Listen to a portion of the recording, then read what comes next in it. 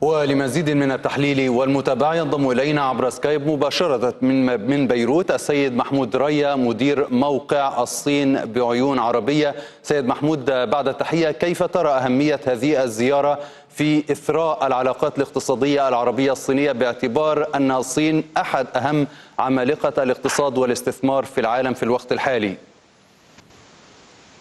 نعم زيارة الرئيس المصري السيسي. هو هي زيارة مهمة جدا لمصر هي ليست الزيارة الأولى ربما هي السادسة خلال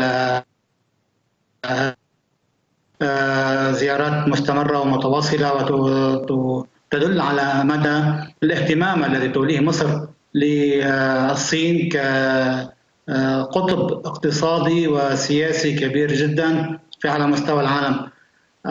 بالمناسبة الصين أيضا تولي اهتماما كبيرا لمصر على مستوى العالم العربي وعلى مستوى أفريقيا كنقطة مركزية. وهذا أمر مهم جدا وهذا نلحظه خلال لقاءاتنا مع المسؤولين الصينيين ومع المسؤول المسؤولين في الحزب الشيوعي الصيني بشكل أساسي والذين يؤكدون على محورية دور مصر.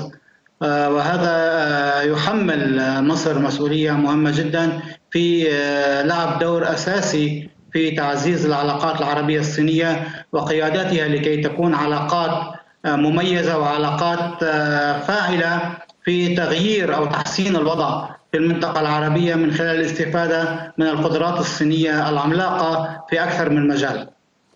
طيب سيد محمود في رأيك متى ستبدأ الدول المشاركة في منتدى الحزام والطريق للتعاون الدولي في جني ثمار هذا التعاون بين الدول المشتركة فيه؟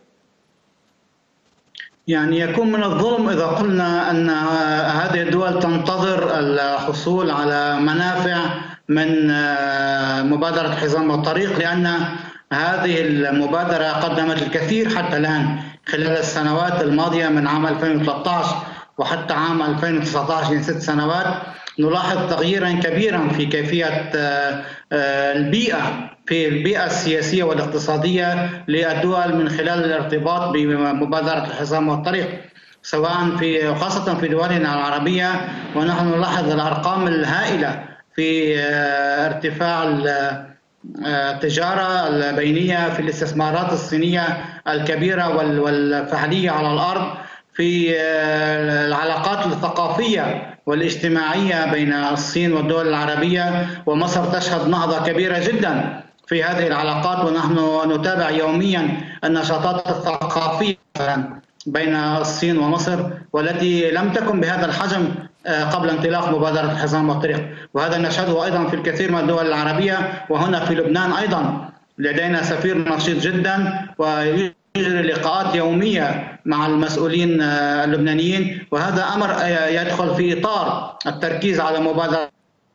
نحن نجني ثمار هذه المبادرة الآن ولكن ما هو متوقع أكبر بكثير في حال تمكنا من التحايل أو التخلص من بعض العقبات الجيوستراتيجية. المتعلقة بكيفية التعاطي مع الصين دون أن تزعج الدول العربية أطرافا دولية أخرى.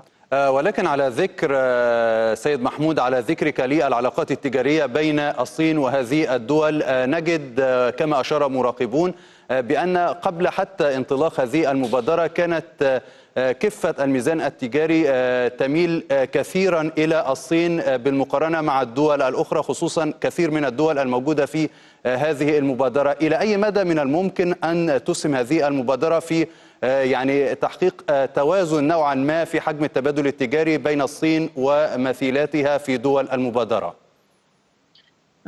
أمر واقع أن الميزان التجاري مختل مع الكثير من دول العالم. لمصلحة الصين وهذا بسبب الضخامة التي يتميز بها الاقتصاد الصيني ولكن الصين تبذل جهودا كبيرا لمنع أو للقضاء على هذا الاختلال لأن هذا الاختلال يضر بالصين قبل أن يضر بالدول الأخرى.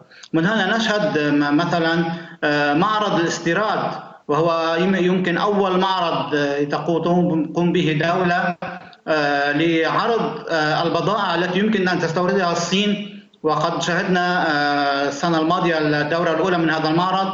والدورة الثانية ستشهد مشاركة أضعاف الدول التي شاركت في الدورة الأولى. كل الدول مدعوة لأن تقدم بضائعها ولكي تقدم خدماتها على الأرض الصينية. من أجل تصحيح هذا الميزان المختل كما قلنا بسبب ضخامة الاقتصاد الصيني. شكرا لك. سيد محمود رايا مدير موقع الصين بعيون عربية كنت معنا عبر سكايب مباشرة من بيروت.